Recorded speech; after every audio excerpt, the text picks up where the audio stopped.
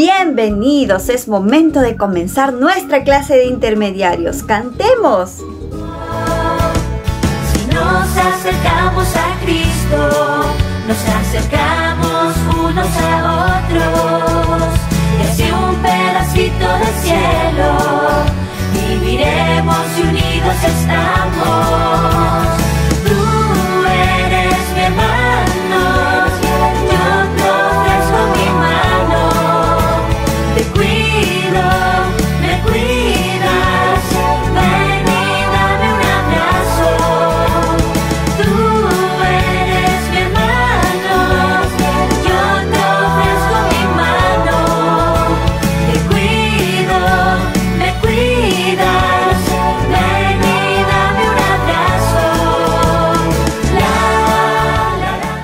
Vamos a orar.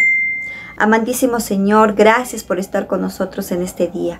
Acompáñanos, oh Dios, para poder comprender tu palabra y para poder hacer crecer nuestra fe en ti, Señor. Bendice a todos los que están conectados escuchando tu mensaje. En el nombre de Jesús te lo pedimos. Amén. Ahora escuchemos nuestro versículo de memoria.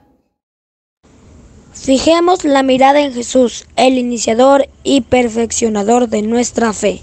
Hebreos 12:2. Y nuestro mensaje del día de hoy es... Al desarrollarse nuestra fe, también lo hace nuestra habilidad para servir. Llegó el momento de nuestro tema central y nuestra lección número 7, que titula La fe inesperada. ¿Y qué personaje vamos a hablar hoy? Lo vas a descubrir. ¿Has pedido algo en favor de alguien? ¿Has salvado la vida de alguien? Tu vida tiene más influencia de lo que tú te imaginas. Y hoy en nuestra historia vamos a descubrir eso. Por eso vamos a coger nuestras Biblias y vamos a abrir en Lucas capítulo 7 del versículo 1 al 10. Cierto día Jesús se acercaba a Capernaum con todos los que le oían predicar. Y en Capernaum había un centurión que tenía a su cargo 100 soldados que le obedecían en todo. Pero este centurión tenía un siervo, a cual él amaba mucho, que se encontraba enfermo, estaba paralítico.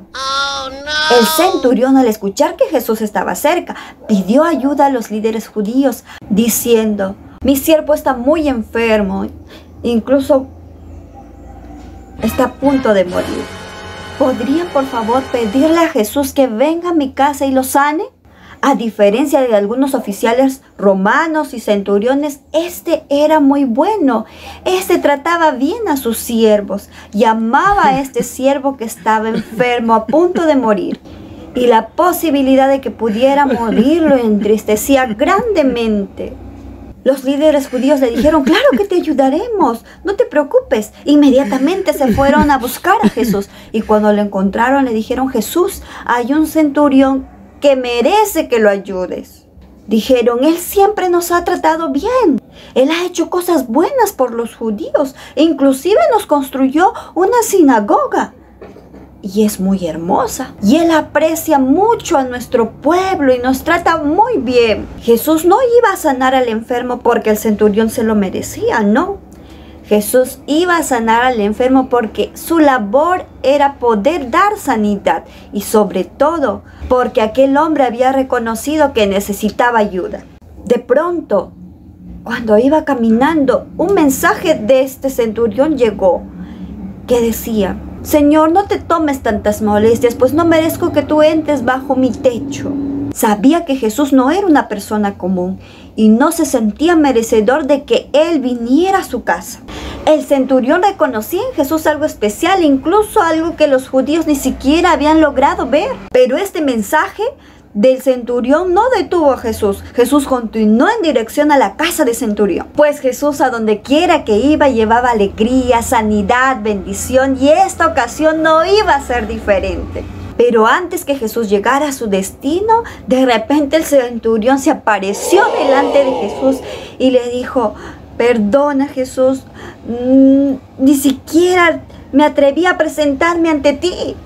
Por eso es que te mandé mensaje, confesó el oficial. Pero dijo, Con una sola palabra que digas, Jesús, yo sé que mi siervo será sano. Como ves, Jesús, yo tengo soldados bajo mi mando, bajo mi autoridad, y yo sé lo que es tener autoridad. Si le digo a uno, ve, él me obedece. Si le digo al otro, ve, él viene. Si le pido cualquier cosa a mi siervo, sé que lo hará. Yo sé que tú, Jesús, tienes esa misma autoridad sobre la enfermedad y la muerte. Así que como mis siervos me obedecen, la enfermedad mortal te obedecerá lo que le ordenes. Cuando Jesús escuchó las palabras del centurión, se sintió sorprendido y dijo, ni siquiera en todo Israel he encontrado tal fe como la que tiene este hombre. Enseguida dijo al centurión, por tu gran fe en mí, tu siervo será sanado. Y cuando el soldado romano regresó a casa, se hizo tal y cual como Jesús había dicho. Su siervo estaba totalmente sanado y listo para empezar su trabajo. Debe haber habido mucha algarabía y alegría ese día cuando vieron al siervo sano en la casa del centurión. A causa de la fe de este soldado, su siervo había sido tocado por la sanidad de Jesús. Y no quedó allí. Con los pasos de los años, esta historia se iba contando una y otra vez. Y las bendiciones se sigan repitiendo. Así como Jesús honró la fe del centurión y sanó a su siervo, así también Jesús quiere honrar tu fe. Ahora imagínate cómo podríamos brindar bendiciones a otros a causa de confiar y tener nuestra fe en Jesús, al igual que hizo el centurión para su siervo. Por eso tu reto de ahora es, pide a Dios que te ayude a tratar a todas las personas con respeto y dignidad. Y ora por aquellos que están afligidos con alguna enfermedad, algún problema. Ese es tu reto, no te olvides. Ahora vamos a orar.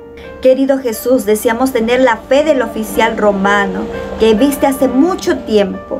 Por favor, deseamos la oportunidad de que nuestra fe crezca para que podamos hacer grandes cosas en tu nombre. En el nombre de Jesús te lo pedimos. Amén, Señor. Chao chicos. Hasta una próxima oportunidad. Chao, chao.